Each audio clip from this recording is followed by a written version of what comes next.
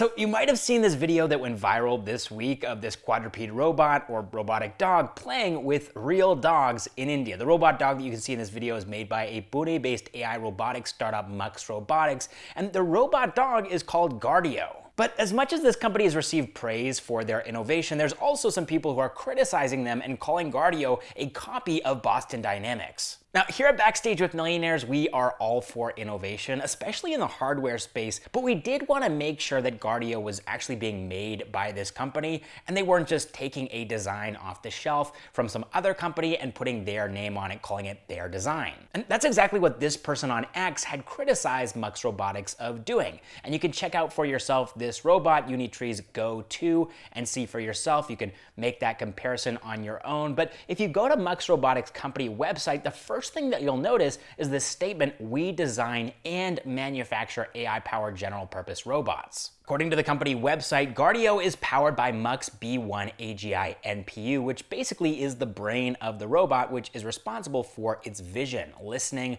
self-learning, and understanding natural language, basically making their robots completely autonomous. Also, it's worth keeping in mind here that Guardeo isn't actually the only robot that Muks Robotics has built. They are in the business of making robots for their clients, so they've also made a movable assistant robotic system, this autonomous package mover for moving stuff around warehouses, and this robotic precision arm. In fact, they've also launched a new series of robots called Spacio, which are being designed to perform tasks in space, from lab testing to exploration.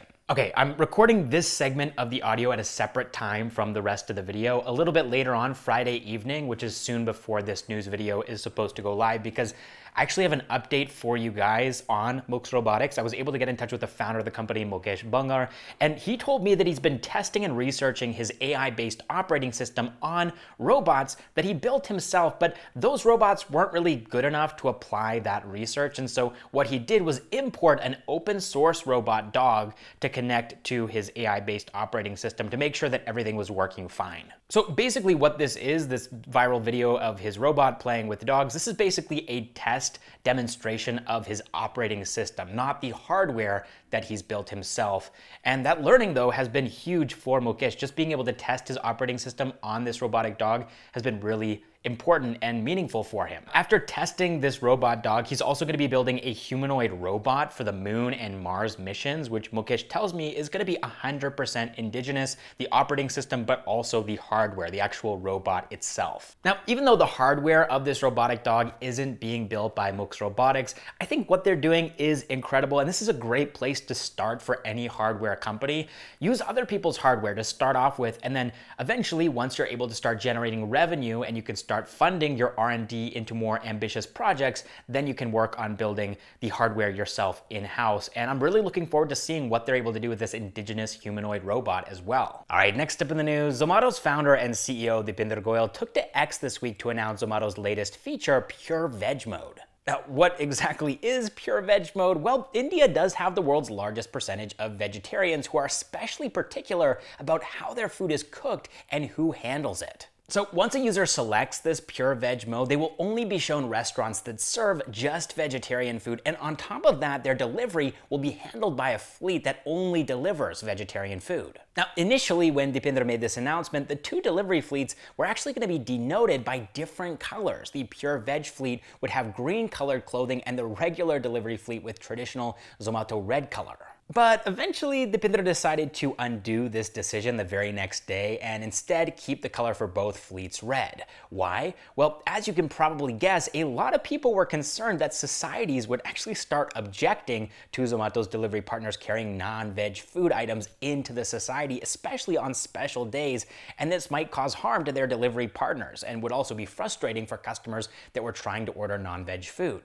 So to make sure that none of this would affect their operations, they've decided to do away with this color segregation on the ground. But in spite of this, this decision to introduce pure veg mode has actually been pretty controversial for Zomato. I've seen some chatter online of people saying that this is a casteist move. Other people are welcoming the decision because it allows people who only prefer to order food from pure veg restaurants the ability to do so. But I think from Zomato's perspective, this is just business. At the end of the day, Zomato has kind of reached this threshold in India where a lot of the people who would be using the platform are using the platform, and anyone else who doesn't want to is using Swiggy or not ordering food online. So it's a pretty saturated market, and they are a public company though, so they need to keep making money. Their stock price depends on this. So they were able to find this untapped market, this new opportunity, and they decided to cater to these people in the hopes of increasing their user base. And as a former vegan myself who did actually care quite a lot about how food was prepared, I can totally see how this makes a lot of sense from a business standpoint and from a customer standpoint for people who genuinely care about where the food is prepared, the fact that it's not being made in a kitchen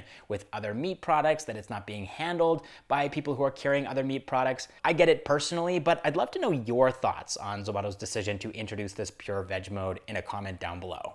All right, next up, I want to talk to you guys about Odoo, a business management software that lets entrepreneurs focus on growing their business while Odoo takes care of day-to-day management by offering them 70 applications covering everything from accounting to manufacturing. And I just want to focus on one of these for now to show you how powerful Odoo is, their e-commerce website builder. So as a small business, if you don't have a website, you're missing out on a $100 billion e-commerce opportunity in India. But the reality is that a lot of small businesses don't have websites because it's just too complicated for them to set up and they don't really have the technical know-how to do it. And that is exactly why Odoo is offering their e-commerce builder, which makes creating your own online store as simple as dragging and dropping. All you have to do is choose your business type and what you want to do with your website, add your company logo to make a color palette, or choose a pre-made palette and you can choose pricing if you plan to sell online. And finally, you pick a theme and voila, your online shop is ready to be customized customized. And it's really that easy. There's no complicated coding required. And in fact, you can build your own e-commerce store without paying a single rupee since their first application is free for life. And yes, on top of that, you also get unlimited hosting and support from them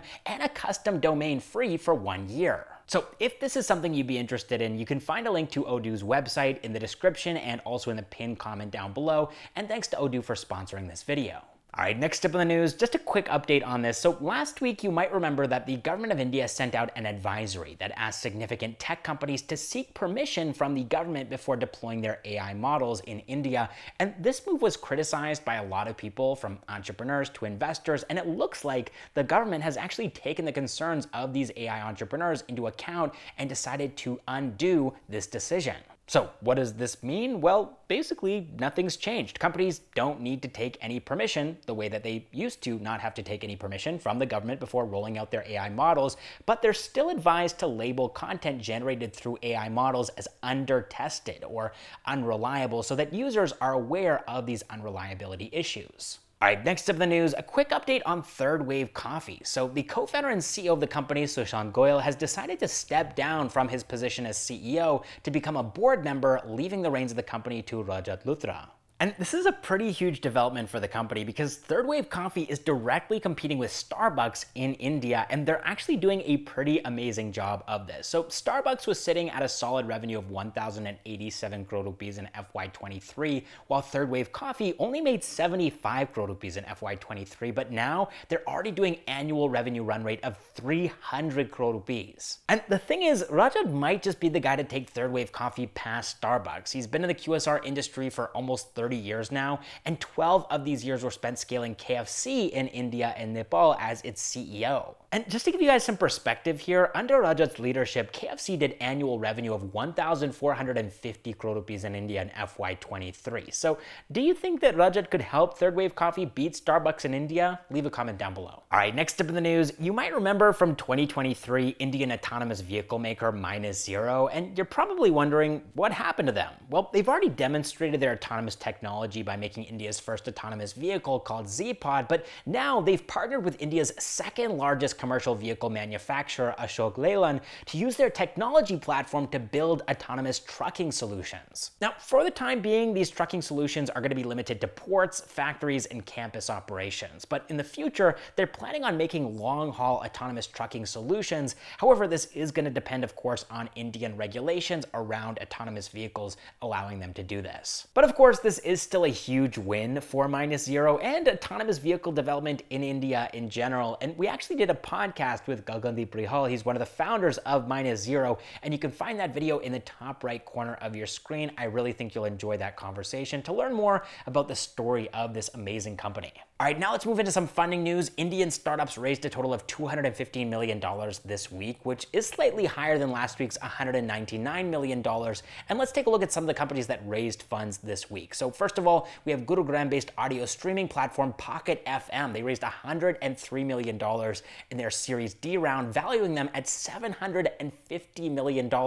And that's not the crazy part. Pocket FM started its journey focusing on Indian language content, basically audio series, audiobooks, and podcasts, and it's surprising to learn now that Pocket FM has reached an annual revenue run rate of $150 million, and $100 million of this is actually coming from the US market alone. All right, after that, we have Bengaluru-based health tech startup Ultrahuman, which makes smart rings that let you track your metabolic health, and they raised $35 million in their Series B round, which was a mix of both equity and debt. Next, we have Delhi-based beauty and personal care-focused e-commerce platform, The Good Glam Group, and they raised $30 million. And then following that, we have Bengaluru-based B2B e-commerce platform Jumbotail, raising $18.2 million in their Series C round.